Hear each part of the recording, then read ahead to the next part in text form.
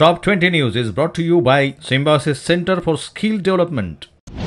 नमस्कार, स्वागत है आपका एनबीसी न्यूज़ पर। आज के टॉप 20 में मैं हूँ आपके साथ भाग्यश्री।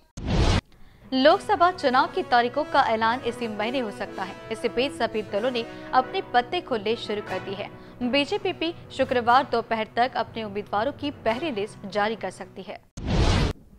दिल्ली के जवाहरलाल नेहरू विश्वविद्यालय में गुरुवार रात स्कूल ऑफ़ लैंग्वेज में चुनाव समिति के सदस्यों के चयन को लेकर दो गुटों के बीच झड़प हुई है।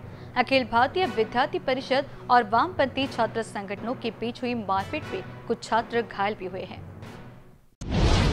गुजरात के जामनगर में अनंत अंबानी और राधिका मर्चेंट के एक से तीन मार्च तक चलने वाली प्री वेडिंग फ़ंक्शन की शुरुआत आज से हो गई है। वहीं कपल की खुशियों में शामिल होने के लिए शाहरुख खान स्टारर जवान के डायरेक्टर एटली भी अपनी पत्नी और बेटे संग जामनगर पहुँच गए हैं। कानपुर समेत पाँच राज्यों में इनकम टैक्स की 15 से 20 टीमें नयागंज स्थित बंशीधर एक्सपोर्ट और बंशीधर तंबाकू पे छापेमारी करी है। आयकर के अधिकारी अभी भी जाँच में जुटे हुए हैं। नागालैंड विधानसभा में म्यांमार की सीमा पर बाढ़ लगाने और पड़ोसी देश के साथ मुक्त आवागमन व्यवस्था को रद्द करने के केंद्र सरकार के फैसले के खिलाफ आज प्रस्ताव पारित किया जाएगा।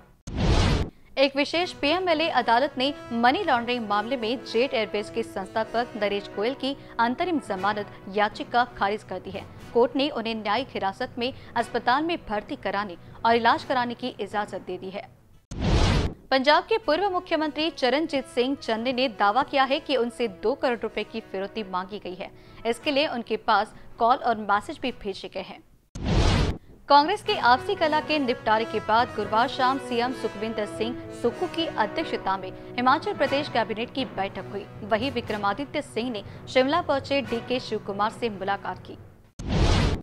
होली का त्योहार इस साल देश भर में 25 मार्च 2025 को मनाया जाएगा, लेकिन देश के कई हिस्से में होली की शुरुआत कई दिनों पहले ही हो जाती है। काशी, मथुरा, वृंदावन और बरसाना की होली विदेशों में भी प्रसिद्ध है।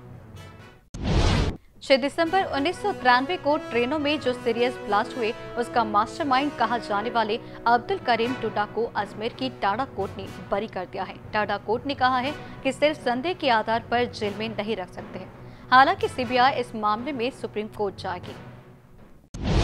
वित्त वर्ष 2024 का आखिरी महीना यानी मार्च आज से शुरू हो गया है। नए महीने के पहले कारोबारी दिन आज शेयर बाज़ार में हरियाली देखी जा रही है।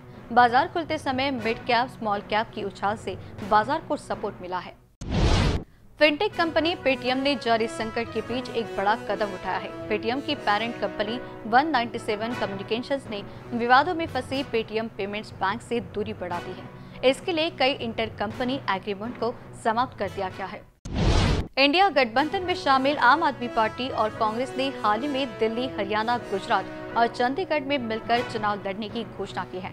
गुजरात में आम आदमी भरूच और भावनगर सीट पर चुनाव लड़ेगी। वहीं कांग्रेस 24 सीटों पर उम्मीदवार उतारेगी।